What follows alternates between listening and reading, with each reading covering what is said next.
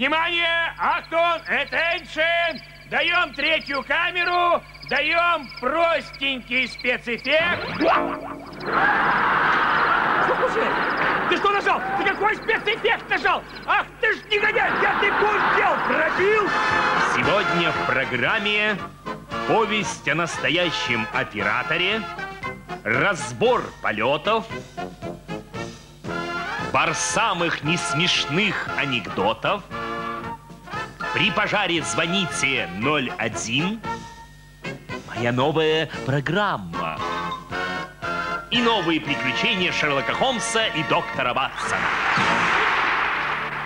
Сегодня мы хотим начать с незатейливого рассказа про глубоко талантливого в душе и скромного там же труженика, нашего оператора. В детстве ему на голову свалился портрет Валерия Чкалова в кожанке и на аэроплане. С этого момента он начал регулярно мечтать стать полярным летчиком-испытателем. Но нелепая гримаса судьбы забросила его на телевидение.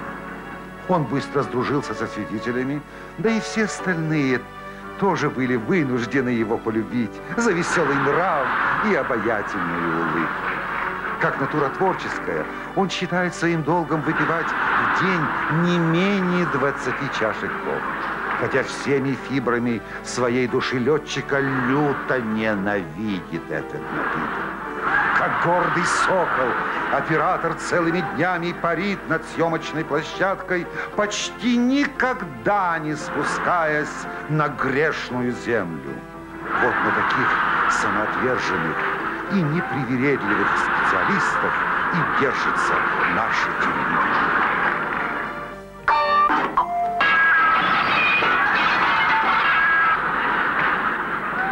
Так он и живет под крышей телепавильона. В кожанке Чкалова, с душой и взглядом орла и улыбкой Гагарина – всех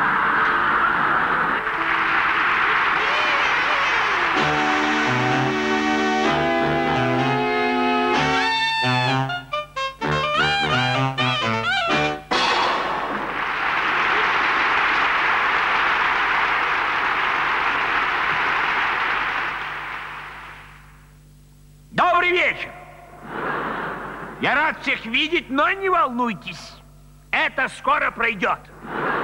Сегодня за этим столом, за этими самыми досками мы разберем все погрешности прошлой передачи. Да, да, все недочеты, все просчеты, мерзости, гадости и погрешности. Я об идиотизме вообще не говорю. Потому что с идиотами говорить это просто бесполезно.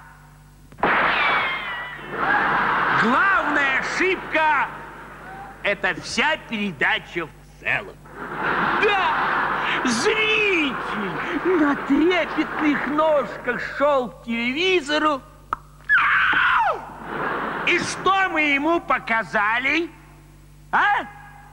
Да, да, да, да, сценарий был паршивый, гадкий, пар... ну, свинство не сценарий. Поэтому я забыл его дома. И мы снимали полет моей мечты, турбулентность фантазии в пространстве моей аномалии. Не получилось. Кто? Кто виноват? Не знаете? Знаете. И я знаю, да, я виноват. А Я больше не буду этого делать. А Я сам все перегадил, нагадил. Вот этими шкотными ручками.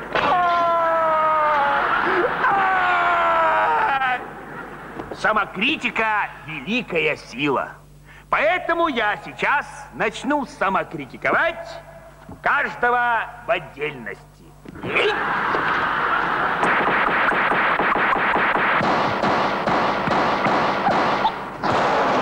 А мы же одна семья!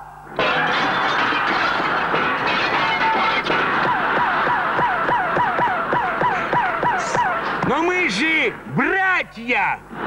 Я Каин, а ты Авель. Мы больше, чем братья, мы сестры. Сестры моего милосердия. Но оно скоро кончится.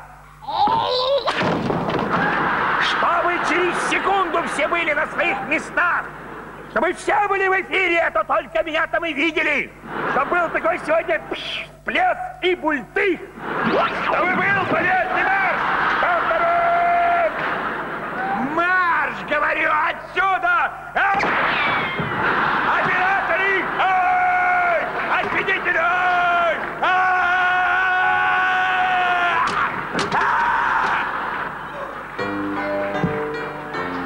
Да, что-то я сегодня не в форме. Даже не укусил никого.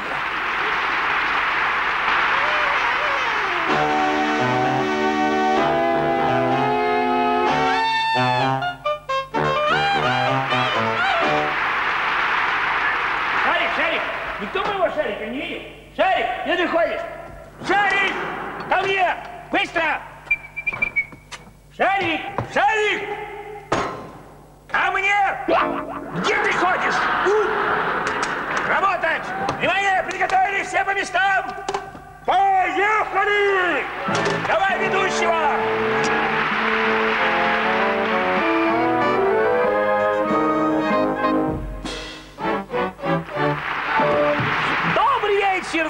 здравствуйте! В эфире шоу «Долгоносиков». Сегодня вы увидите много нового, хорошо забытого и старого. Ну, новую серию про старого сыщика Шерлока Холмса и его дряхлого доктора Ватсона. Ну, продолжение той серии, э, в которой закоренелый профессор Мариарти решил убить Шерлока Холмса для того, чтобы он умер. Этот лжеученый решил уничтожить Шерлока Холмса под видом э, плевалки и ядовитых колючек. Ну, конечно, этими допотопными средствами этот ветродой ничего не добился.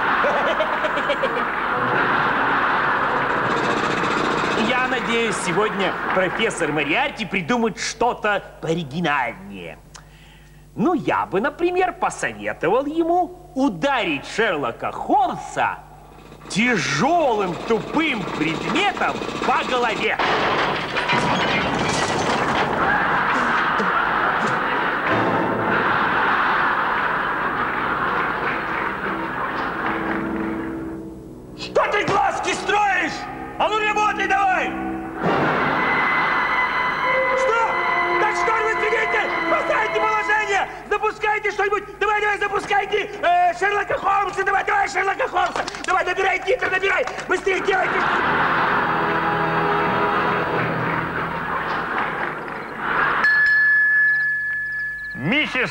Хадсон, что там за шум? Мистер Холмс, пришли собирать пожертвования на строительство нового бассейна. Ну дайте им два. Три. Нет, четыре ведра воды.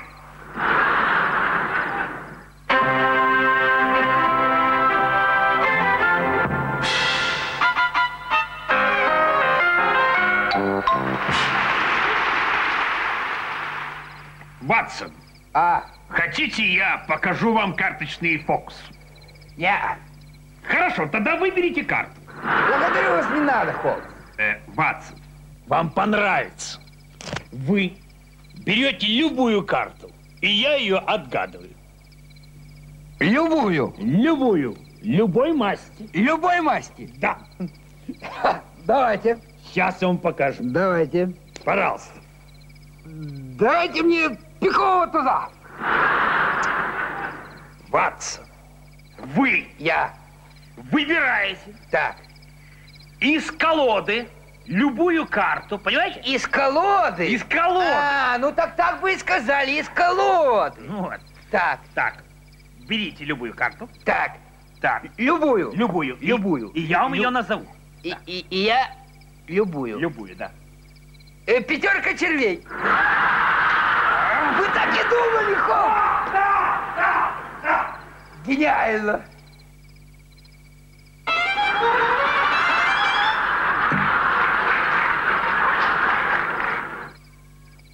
Вы знаете, что я умею показывать карточные фокусы, а?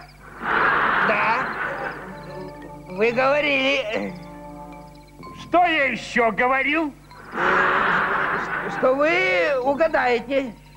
Я вам могу назвать любую карту, любой масти, Любую. которую вы выберете из колоды. И- Из колоды. Но мне не должны показывать. Хорошо. Вы мне ее не показываете. Не показываю. Правильно. Договорились? Договорились. Мне не показывать. И Не любую. И, Да, и, люб- и вам не показывать. Да. Не показывать. Да. Хорошо. Раз, два, три. Вы выбрали четверку пик.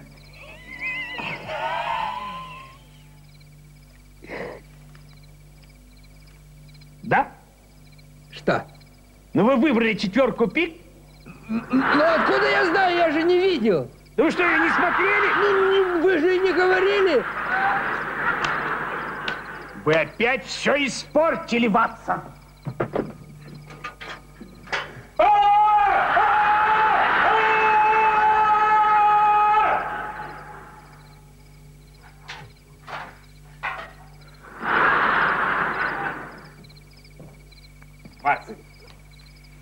Что?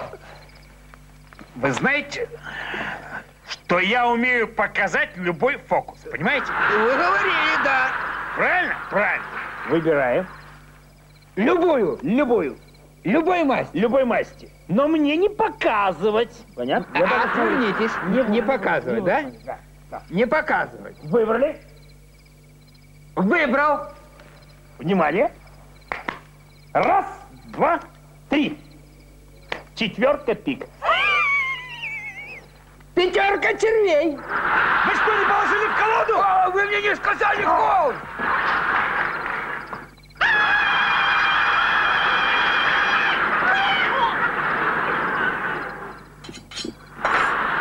Вы знаете, что я очень люблю показывать фокус. И- и- и- и Я, я должен выбрать любую карту из колоды. И Дайте, и дайте.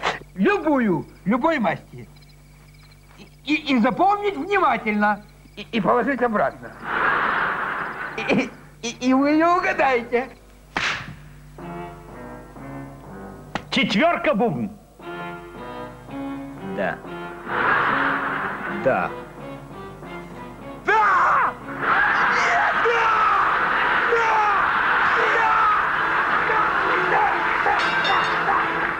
Я знаю, Холмс, я беру любую карту, а, запоминаю ее и кладу опять колоду. Правильно, Ватсон? Вот, и вы ее обязательно, обязательно угадаете. Конечно, Ватсон, это крестовый валет. Ой, ой, какой вы, Холмс, догадливый! Вы настоя... настоящий детектив! И отныне Ватсон никогда не спорил с Шерлоком Холмсом.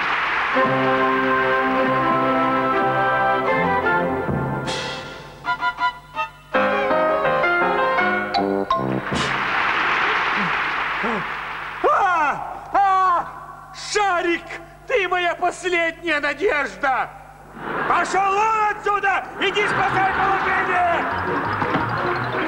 И живым не возвращайся!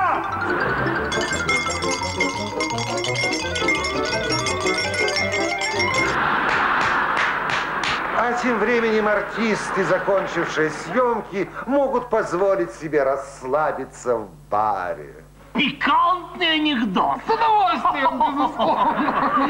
Э, Значит, представьте, приходит один джентльмен в аптеку и говорит, дайте, пожалуйста, мне что-нибудь от моли. А тот ему говорит, у меня есть шарики нафталина. Он говорит, дайте мне эти шарики. Взял шарики, уходит, возвращается на следующий день говорит, будьте добры, дайте мне 100 коробочек этих шариков. Он спрашивает, а чего так много? Да. Он говорит, вы знаете, шустрый это мой.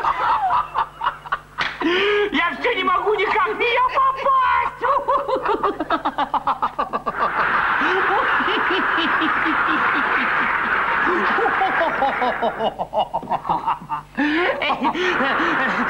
Прикался никто.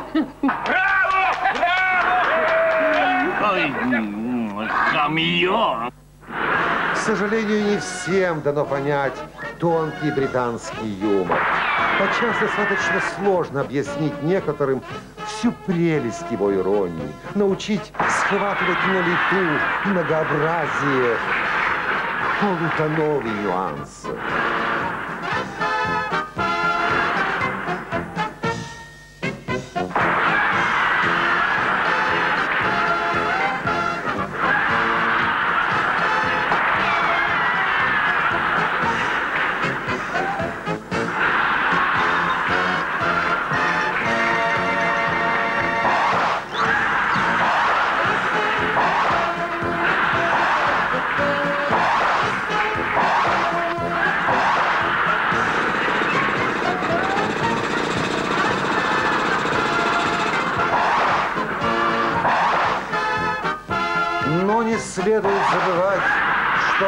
должно продолжаться, несмотря ни на что.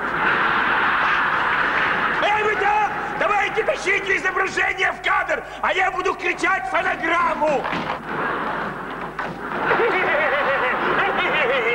О, здравствуйте, вот и я! А сейчас вы увидите мою любимую новую сногсшибательную программу.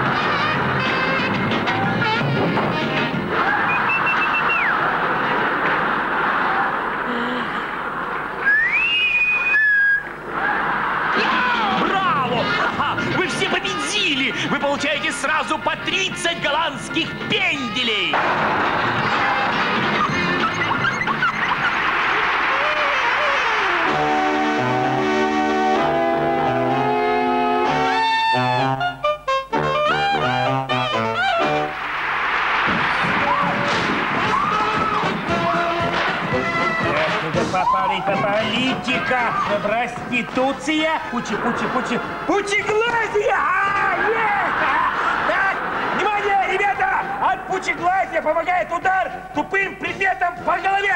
Эй, сбросьте что-нибудь тупое на голову! Да не мне, а ему! Главное, одновременно. Так, э, раз, два...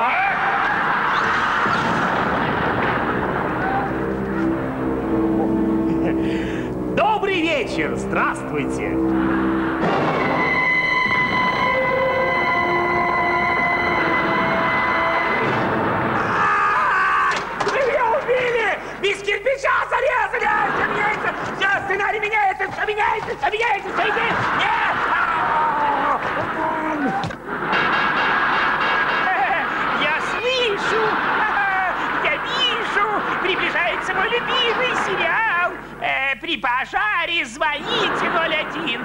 Очень интересно и полезно. Сэр, объявили ваш выход. Мне в другую сторону. Позвольте вас проводить.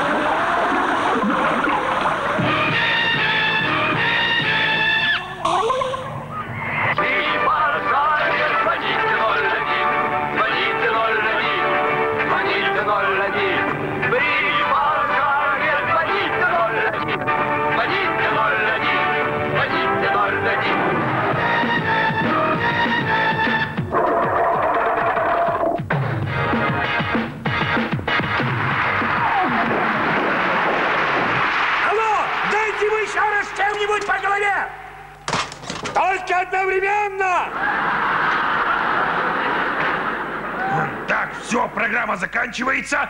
До свидания!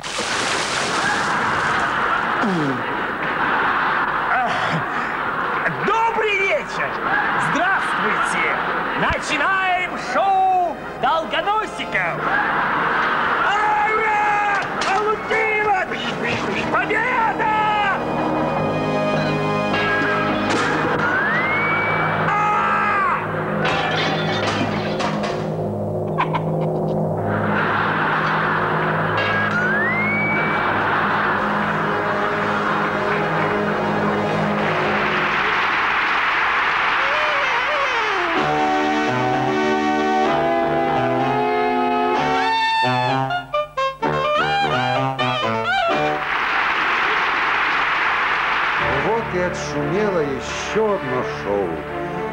Наконец-то есть время прийти в себя. Теперь можно проанализировать ошибки. Вдохнуть полной грудью свежего воздуха. Подлинные художники могут полемизировать всю жизнь. Именно в таких спорах и рождается истина. Все сотрудники телевидения – одна большая семья, в которой всегда царит совет да любовь, которая, впрочем, не мешает говорить друг другу правду в глаза. И только гордый сокол-оператор продолжает одиноко кружить под крышей.